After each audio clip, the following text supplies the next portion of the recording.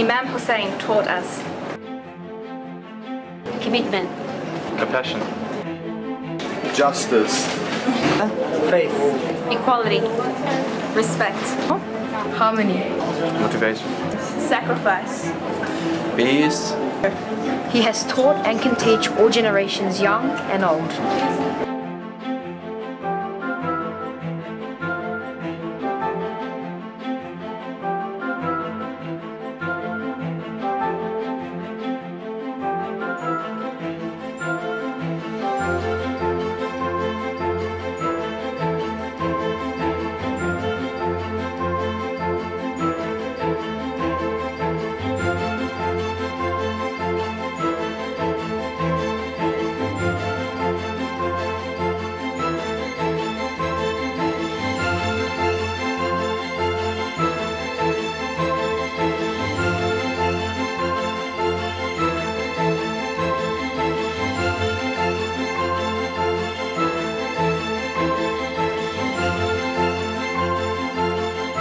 I learned from Hussein, and you can too.